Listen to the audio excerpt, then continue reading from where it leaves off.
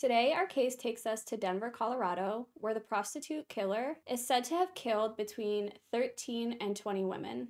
The thing is, no one is sure who this killer is. But before we get started, welcome to True Crime with Maneater. If you love all things true crime, including missing person cases, cold cases, and just the strange happenings of the world, you've come to the right place. Be sure to subscribe and turn on alerts so you never miss a video upload. Let's get started.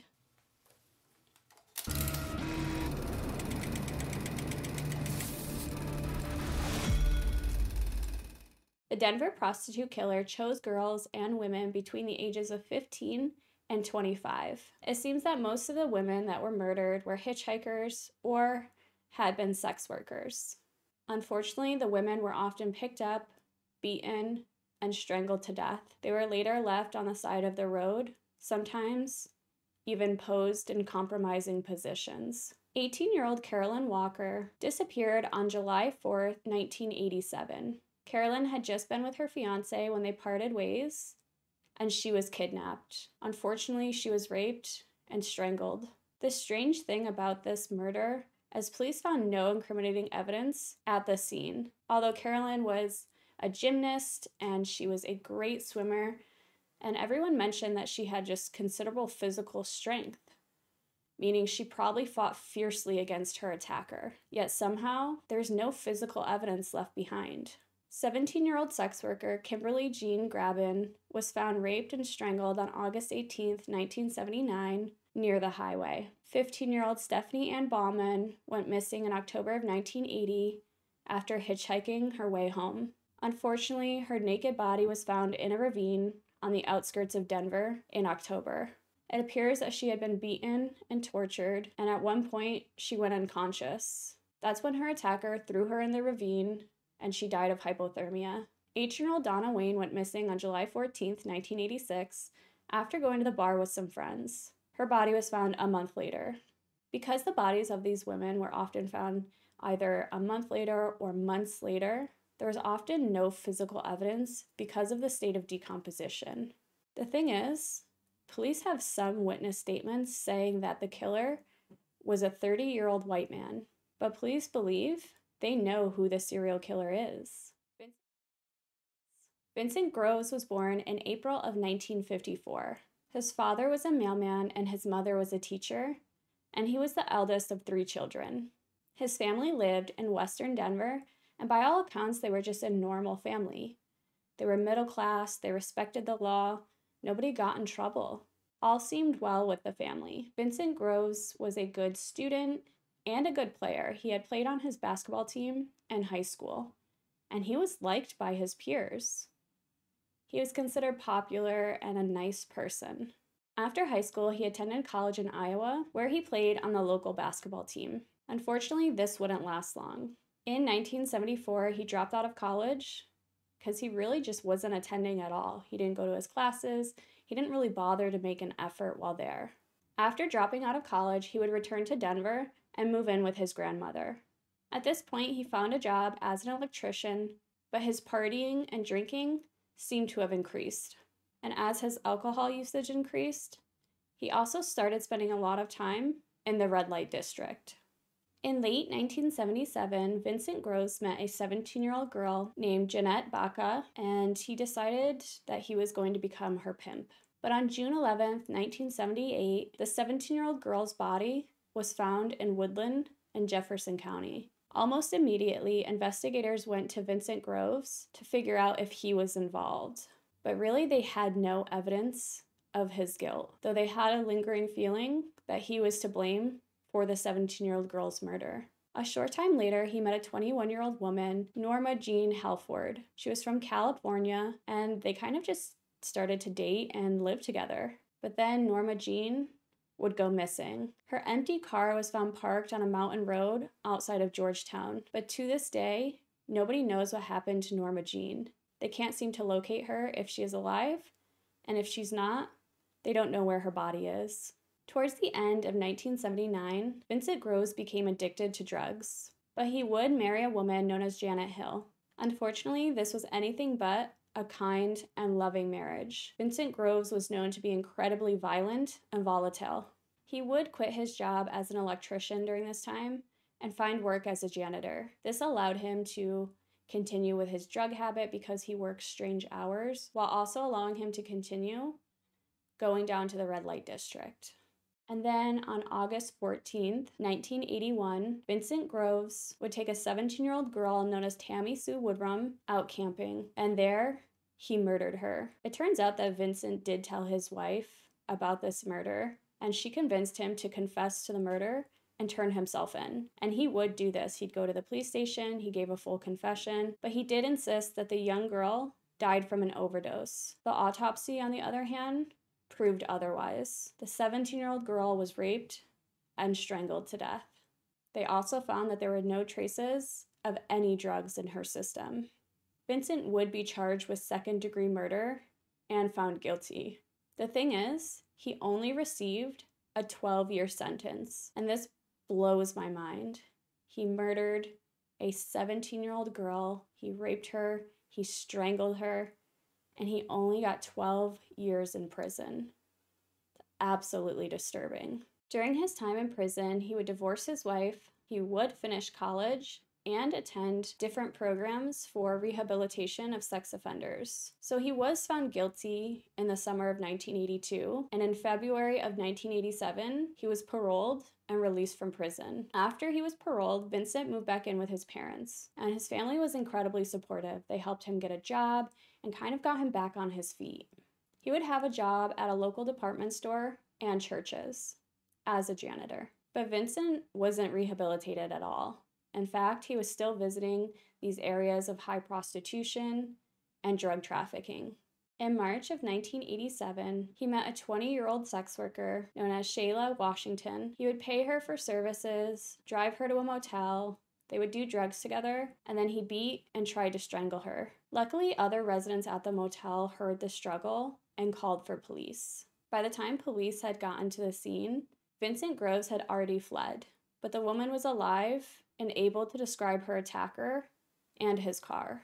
And then in August of 1988, that girl he had taken to the motel and attempted to strangle had identified his car and reported it to the police. By this time, Vincent Groves was a suspect in more than 20 murders of Denver girls, and they had all been strangled. Investigators realized that Vincent Groves was very familiar with the victims, and he was a known drug dealer. In most cases, he was the last person seen with the victim. Based mostly on circumstantial evidence and testimonies, Vincent Groves was arrested on September 1st, 1988, and they began to interrogate him.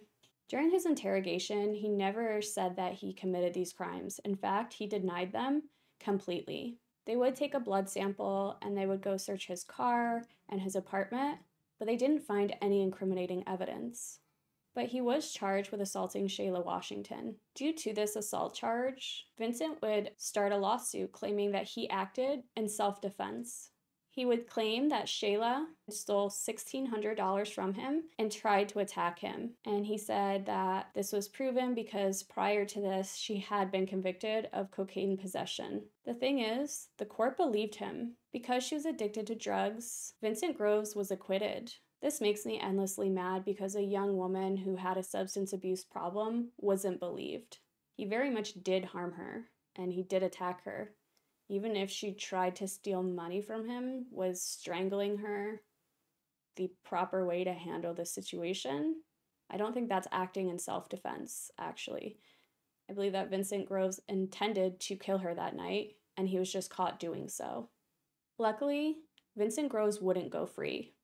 Because of that DNA sample taken, he was linked to other crimes. Vincent Groves was linked to the murder of 19 year old Juanita Lovato, who was found in April 1988 in a rural area east of Denver. His DNA was found on 25 year old Diane Manker, whose body was found in a neighboring county near I 25 west of Denver. He was convicted of Lovato's killing in 1990 and received life imprisonment, and then he was charged with Diane's murder. He was convicted and received 20 years for that. During his trial, prosecutors did provide evidence of his involvement in eight other murders in the Denver area.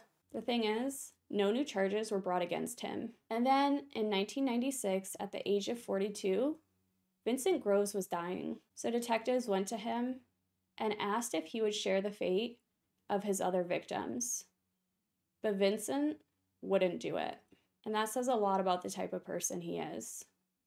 I mean, he's dying at the age of 42. He can't get out of prison anyways, but he can bring some sort of relief to the families.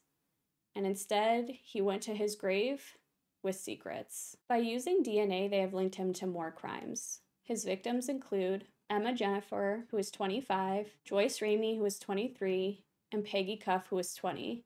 And they were all strangled in 1979. They also have circumstantial evidence that they believe ties him to the 1988 killing of Pamela Montgomery, who was 35. Although many believe that Vincent Groves was the Denver prostitute killer, other people aren't so sure. In fact, they think another person is responsible for those crimes. Many Many people believe that Billy Edwin Reed is the Denver prostitute killer. In 2006, Billy Reed was arrested at his home in Denver. He was charged with the murder of Linnell Williams after investigators successfully tied his DNA to the crime scene. Her body was found, unfortunately, in a compromising position on October 14, 1989, near Clear Creek by two East High School students. And that seems eerily similar to what the Denver prostitute killer had been doing. They would charge him with murder for killing Lisa Kelly, who was a sex worker, and her badly decomposed body was found on March 24, 1989. Unfortunately, she remained unidentified for 17 years until a partial print was pulled from the crime scene. Police would also suspect him of killing Queena Sanders in 1988. During the time, Billy Reed was considered homeless and he was a bit of a transient who was known to have traveled extensively between California and Colorado. He was convicted in 2008 of killing Williams and Kelly after a jury verdict, and he was sentenced to life imprisonment. It seems that Billy Edwin Reed and Vincent Groves were working pretty much at the same time. They were both serial killers, they were both murdering women during the same time, and it seemed that their method was quite similar. I do question if they're both responsible. They're both technically the Denver prostitute killer because maybe their crimes were incredibly similar and they're both responsible for certain murders. It does seem likely that perhaps they were looking for one serial killer while they had two roaming free. I do feel like the case wasn't taken as serious because these women were often sex workers or hitchhikers who had run away from home, and police during that time really didn't, in a sense, value these people, these women. And that just breaks my heart entirely. These two men could have murdered significantly more women, and we may never know. The one thing that does stand out to me is witnesses claim that they saw a 30 year old white man with some of these women that went missing. So either this is a case of perhaps this 30 year old man was seen talking to these sex workers, and perhaps he had even paid them. And then one of these men, Vincent Groves or Billy Reed, came along and picked them up after. Or perhaps they have another serial killer out there who was never caught. I mean, there's just so many theories for this case. Sure, it could be Vincent Groves, it could be Billy Reed, but there could also be a person out there who hasn't been charged for the crime. But I would love to know your thoughts on the case. Do police know who the Denver prostitute killer is? Or is there a serial killer out there who hasn't been charged for his crimes? But that's it for today, guys. If you like this video or any other video on my channel, be sure to subscribe and turn on alerts so you never miss a video upload. If there's a case you'd like me to cover, pop it in the comments below, and I'll be sure to get to it. In the meantime, check out some other videos on my channel while you wait for the next upload, and I'll see you then.